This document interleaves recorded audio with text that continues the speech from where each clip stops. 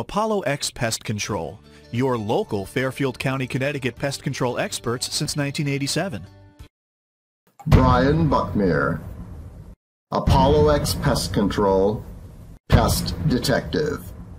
The Case of Which Gutters Pests Love Best, Part 3. I would prefer that this didn't drip like that. Uh,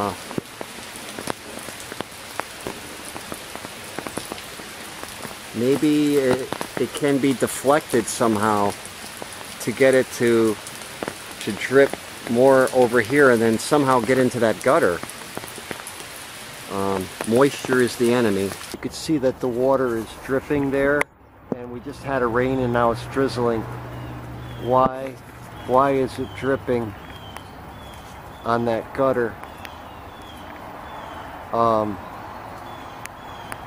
apparently I don't think it's overflowed. So there's like a, a welded joint or something is is is uh needs to be re-welded assu assumably. If you have a pest control need, whether it's ants, spiders, mice, bees, termites, bed bugs or if you simply want to prevent annoying infestations, call an exterminator you can trust.